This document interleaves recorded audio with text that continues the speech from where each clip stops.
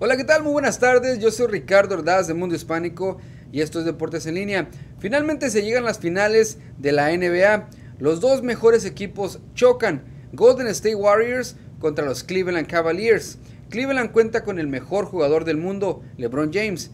Pero Golden State tiene al mejor jugador de la liga. El jugador, él ganó el jugador más valioso de esta temporada, Stephen Curry. El primer partido será el día de mañana en punto de las 9 de la noche. Los expertos dan favoritos a Golden State. LeBron James busca su tercer título en su corta carrera, pero viene con un equipo permado, ya que los jugadores vienen recuperándose de lesiones. Nosotros te mantendremos informados qué es lo que pasa en esta serie. Del baloncesto nos vamos al fútbol. México juega su segundo partido amistoso y esta vez es contra la selección de Perú. El partido será en punto a las 9 de la noche. México se prepara para la Copa América que se estará llevando a cabo del 11 de junio al 4 de julio. México viene de derrotar 3 por 0 a Guatemala, lo que fue en un partido sumamente fácil.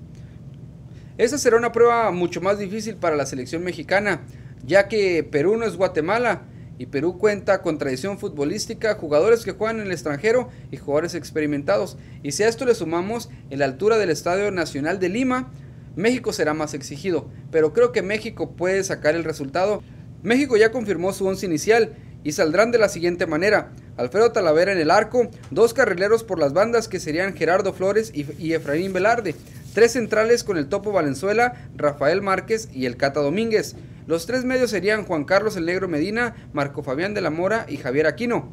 Y dos puntas con Raúl Jiménez y Enrique Esqueda. Nosotros te tendremos el resumen completo este próximo lunes en Deportes en Línea. No hay día que no se llegue ni fecha que no se cumpla. Se llega a la Champions y se jugará este próximo sábado, donde el Barcelona de España se enfrenta a la, Juventus de Italia.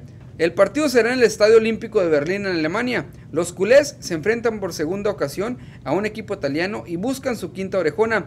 Como asimismo buscan el triplete, ya que fue el campeón de la liga, campeón de la Copa del Rey y ahora sería el campeón de la Champions. Este será un sábado de campeones. Este próximo lunes nosotros te mantendremos informados aquí en Deportes en Línea qué fue lo que sucedió el fin de semana en estos partidos. Yo soy Ricardo Ordaz desde los estudios de Mundo Hispánico. No se te olvide seguirnos en nuestras redes sociales Facebook, Instagram y Twitter y nuestra página web www.mundohispánico.com. Hasta la próxima.